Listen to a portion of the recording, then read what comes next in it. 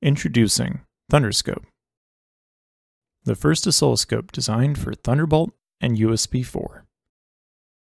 Also available as a PCIe card. Everything about Thunderscope was designed to last. The included hard case protects the unit and includes an accessory compartment, so you can always keep your test setup by your side. Using Thunderscope is easy. Just plug it into a Thunderbolt or USB 4 capable port or install the PCIe version into your desktop computer. On the software side of things, open up NG Scope Client, connect to Thunderscope,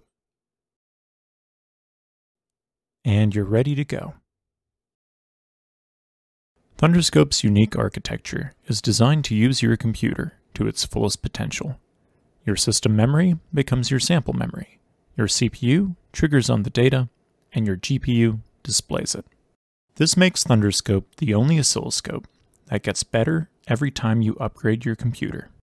The first hardware for this project was designed in 2018, and it's been in continual development ever since. The software for this project has been a community effort, and it just wouldn't be possible without our contributors. We also rely on the excellent work behind other open source projects, such as NG Scope Client and LiteX. And through all these years of work, Thunderscope has truly professional specs and powerful software, making Thunderscope the first no compromises open source option for your lab bench.